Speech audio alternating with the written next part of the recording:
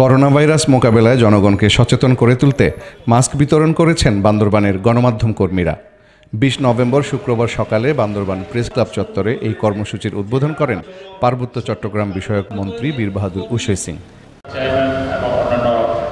এ সময় তার সাথে ছিলেন civil surgeon doctor Anshupru police super Zerin Akter, অতিরিক্ত জেলা প্রশাসক মাহবুবুল আলম, সদর উপজেলা chairman A K M Jahangir ও পৌরসভার মেয়র মোহাম্মদ ইসলাম বিবি সহ জেলার বিশিষ্টজনেরা কোভিড আমাদের যখন শুরু হলো মার্চের থেকে, তখন থেকে তারা শুধু কলম ধরে বসে নাই।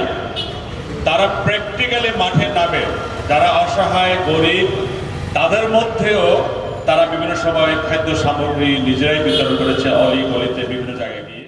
বান্দরবান প্রেস ক্লাবের সভাপতি মনিরুল ইসলাম মনুর সভাপতিত্বে এই কর্মসূচিতে বিভিন্ন গণমাধ্যমের কর্মীরা অংশ নেন।